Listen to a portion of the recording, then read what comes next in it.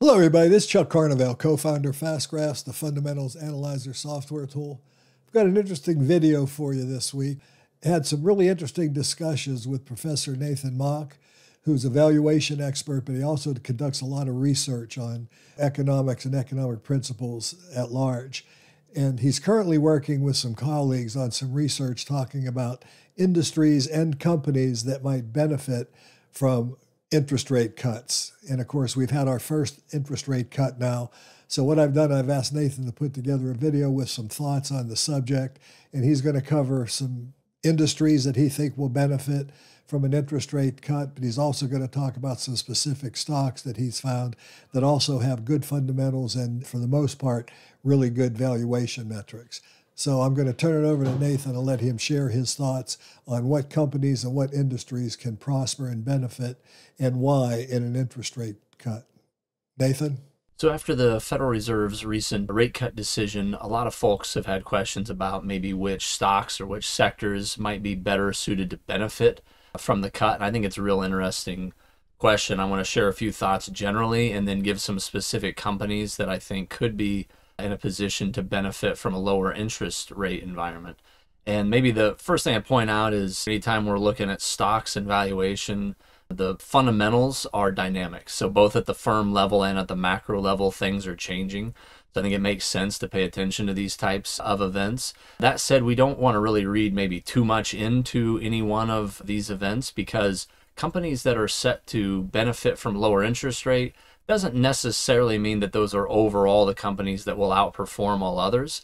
It's just who really stands to, to gain here. And so, a couple things I'd point out is if you look at history overall with stocks, what happens after a rate cut depends on the overall economic situation. So, if we are in a recession or on the cusp of a recession, the rate cuts are not associated with very good returns. However, if the rate cuts are more what we consider a normalization or a response to some sort of crisis, the returns have been better. So here's an interesting article from Reuters that gets into this a little bit. I'll show you one chart in particular, but the recession factor it says. So this is change in S&P 3, 6 and 12 months after a rate cut and you see we've had normalizations in 89, 95 and 2019 panic cuts in 87, 98, and March of 2020, and then the recession cuts from 90, 01, and 07.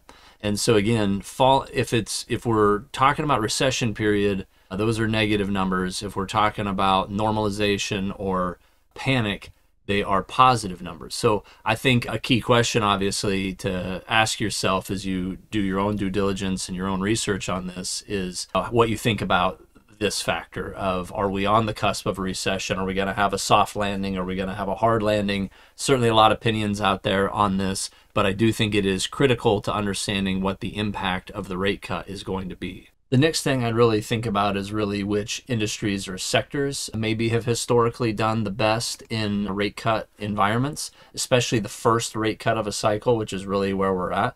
Sometimes we'll see cuts follow each other, but the first cut can be a significant time. And what we saw in 95, that was one of those normalization rate cuts that might be in some ways more similar to this one than some of these other periods. We saw healthcare and telecom did really well. Also, if we just look over the past, IT has done well in soft landing type of situations, consumer staples utilities. These have all done pretty well during following a first rate cut. So that's certainly something I would look at. Um, I would say, as far as firm specifics, who is in a position to benefit from a rate cut? I would really say firms with a lot of debt because if those interest payments are using up a lot of their free cash, then the lower interest rate environment should really be an advantage to those firms, reduce their interest expense especially firms that have an ongoing need for debt. So they're going to need to issue debt continuously. Moving forward, they'll be able to issue in a lower interest rate environment. So I'm looking for firms that have fairly high debt loads, but otherwise, I like the fundamentals. The other thing I'd say is if the consumers for a firm would benefit from the low interest rate environment, those are also firms that are going to be interesting. So I'll give you some specifics that I think are interesting, but as always, you definitely want to do your own due diligence. And again, keep in mind that just because the interest rate cut might have some advantage, this doesn't sort of absolve us from figuring out valuation and understanding the fundamentals of the business. So just because a firm is relatively better off after a rate cut, we still have to kind of decide for ourselves overall are they in good shape and are they in a position to perform well. So three healthcare stocks. The first one is AbbVie. There's a lot to like when you look at the earnings history of AbbVie. A little dip coming out of 22 into 23. Expectations are to be pretty high. This is one that, although there, I think there is a lot to like about AbbVie. Probably the biggest caution here that I see immediately is you this black line, the price line, is above the value line.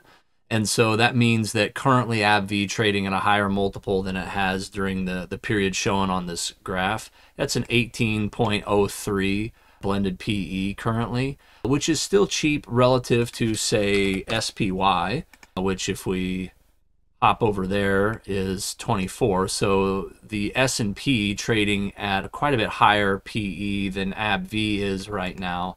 But AbbVie trading at a higher multiple relative to its own history. Still, though, a nice dividend yield of 3.15%. When we look at the financial statements and we check out the balance sheet, we see that this is a firm with about 52 billion in long-term debt. So again, firms that might stand to benefit from an interest rate cut, firms with a lot of debt, that certainly describes AbbVie. If we take a look at the forecasting calculator, again, I think this is probably the best way to help you make decisions in a really simple way. You can see that if AbbVie hits these different earnings estimates, what kind of return would you be looking at different multiples? And so again, if they revert back to maybe more what they've traded at historically, a 15 PE, you see the annualized return of about 4.5% there. If they hang in closer to this 18 multiple they're at, that's more like an annualized return of 12%. That's a total return. This has a nice yield, but also some potential upside if that multiple holds, if those estimates are realized. So AbbVie is the first healthcare company on my list. Up next is J&J. So J&J really a similar all three of the healthcare stocks have a similar story. J&J really in between the blue and orange lines currently. So that would be a key difference between AbbVie. The expected growth, when you look at what analysts are projecting for 25 and 26, not as strong as AbbVie, still a reasonable amount of growth. Dividend yield of 3.06, so pretty nice dividend yield. J&J is a AAA rated company, so rated at a very high level on financial health. Uh, if we take a look again at their financial statements, we go to their balance sheet, we see that this is a company that has about 26 billion in long-term debt, which compared to their market cap of 390 almost billion dollars, relatively minor. But again, healthcare has been a sector that's done well in rate cut environments. So J&J certainly fits within that and has reasonable fundamentals. If we take a look at the forecasting calculator, and again, we can run this out at a 15 multiple, at a 1650 multiple, we can see the annualized return suggested by that. The third healthcare company I want to take a look at is Pfizer. So, Pfizer on the graph, one thing that definitely stands out here is this huge spike up and then falling back down. And so that was their COVID portfolio generated some extra profits, some extra revenues for a period. That declined. One thing that I think you'll find if you look into some of their own reports is they talk about the results in 23. The non COVID portfolio was still growing a bit during that period, but the drop off of the COVID related sales really is why you see this spike up and spike down. But again, pretty good growth expected. We're almost at the end of 24, so we're getting pretty close to those numbers, finding out what those actually are. Again, very nice dividend yield on Pfizer, especially compared to the other two healthcare stocks we looked at. An A rated company. We take a look at their financial statements, go into the balance sheet, we can see total debt here of about 64 billion. And that's on a market cap of about 162 billion. So a little more debt especially compared to j&j relative to the market value of the equity. But a lot of debt healthcare company may benefit from a lower interest rate. I'd also say as we especially start to get into these higher dividend yields, like this 5.86%, in a lower interest rate environment, that tends to impact the money market rates that we can get. And so, as we start to find lower interest rates and sort of safe haven type investments, some of these yields might look, relatively speaking, a little bit more attractive. And that is, I think, one of the interesting things about Pfizer. I want to switch gears to utilities. So, utilities are heavily regulated. They're kind of an interesting industry to get familiar with if you're not already. I'm going to take a look at UGI first, which is a pretty good example of what you'll see with a lot of utilities, but high dividend yield relative at least to most equities at this stage of a 6.12%. Most utilities tend to have a lot of debt, and certainly UGI is in that camp. If we go to their balance sheet, and take a look at their debt, that's about 6.8 billion and that is on compared to a market cap of about 5 billion. So this is a fairly debt heavy business. Utilities are fairly debt heavy. Presumably, part of the reason that maybe historically they've done fairly well following a first rate cut. And again, they have a need to spend on physical assets on an ongoing basis. So they're going to have an ongoing need to borrow, finance capex. There's going to be some limit to their ability to change pricing because of how they're regulated.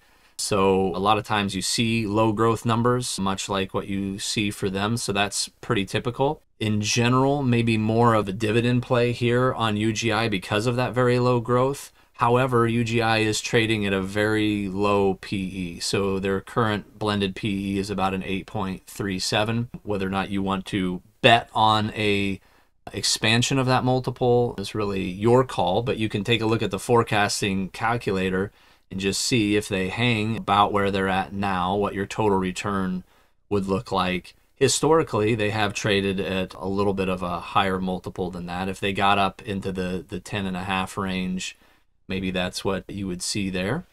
So UGI, again, I think a pretty typical example. The black line fell below the value line starting kind of early 23 and has sort of plateaued at more of a new normal, which is a much, much lower multiple. Hard to know when or if those will change, but that's certainly something worth looking at, I think. One other thing I want to talk about with UGI is I'm showing adjusted operating earnings. If we go to just a basic earnings, we'll actually see a negative number for 23. And so it's only when we look at an adjusted earnings that we get a positive number. And again, you, you'd want to take a look here and see for yourself what you think about that adjustment. But a lot of that adjustment was due to losses in derivatives for UGI. So losses on their commodity derivatives and also an impairment they took to the propane business. So again, the adjusted operating earnings graph looks a little smoother and more consistent than if you look at the basic earnings and I'd encourage you to dig into that further to see for yourself what you think. The second utility is Eversource Energy. So, really stable earnings growth here. You know, if you look through 2014 to present day and beyond, it's about 5 or 6%, just pretty predictably. So that's overall fairly low growth rate, but for a utility, fairly solid. They've got a dividend yield of about 4.2%. This is, again, a company with a lot of debt. And so if you look at their financial statement and go to the total debt, it's about 24 billion and that's 24 billion in debt compared to a market cap of about 24 billion. So that gives you some idea of why they may benefit from an interest rate cut. Trading right on the, the yellow line here, which they spent some time above the blue line, and then earlier they were kind of in between the two. So if we take a look at the forecasting calculator and just run that out to the yellow line, you can get a, an idea of the total return and annualized return there. And again, the dividend yield really helping prop that up because the growth is relatively low and these higher dividend yields again might be more attractive in a lower interest rate environment. So another industry that has fared well following the first rate cut historically, especially in more normalizing periods, as opposed to recessionary periods. Um, telecom has done well. And so um, take a look at a couple companies within telecom. Start with Verizon. So first of all, Verizon has had some negative adjusted earnings growth uh, recently. which is probably partly related to the fact that the black line is so far below the value line. So blended PE of about 9.79 right now. And again, probably part of the reason for that very low multiple is we've had declining earnings for a couple years projected for 24 and then back to some light growth in, in 25 and 26. So some things to consider there. Nice dividend yield of 5.99%. On all of these, looking at dividend safety makes a lot of sense, but you can just look at that's about 58% of the earnings that they're paying out. This is a firm that produces quite a bit of cash. It's also a firm that has a lot of debt, which is a theme with a lot of these stocks. And if we take a look at their long-term debt, that's about 157 billion compared to a market cap of about 190 billion. So both in absolute and relative terms, that's a, a big number on the, the debt front. Again, one of the potential points of interest with Verizon is it is at a low multiple.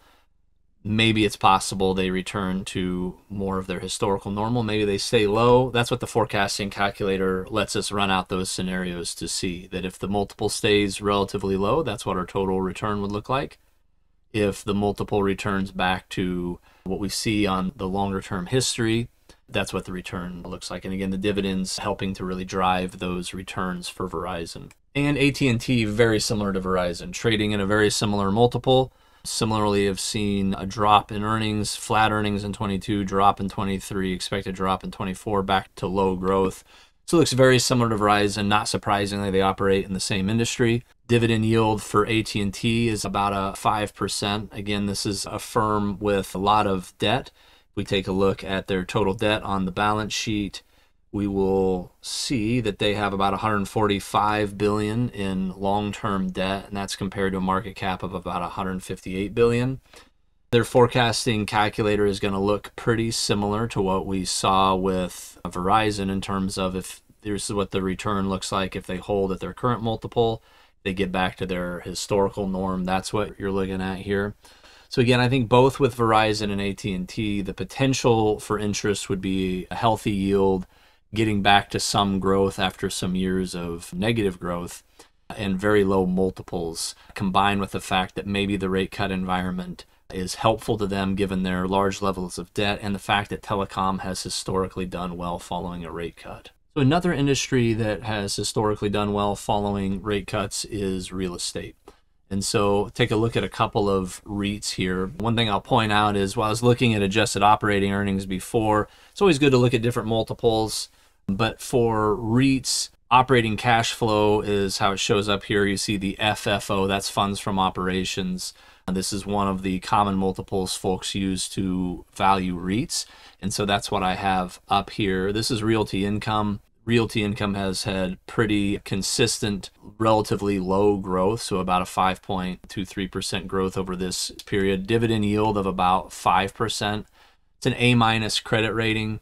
Again, if we take a look at their financials and take a look at their debt levels, um, there's 20 billion in long-term debt compared to a market cap of about 54 billion. So a lot of debt, a lot of thinking that real estate has benefited in the past in a rate cut environment, a lower rate environment, and might continue to do so here. So we'll take a look at the forecasting calculator. We see right now realty income right on the yellow line. So we'll take a look at that. You can see what the total return looks like if they hold at that yellow line.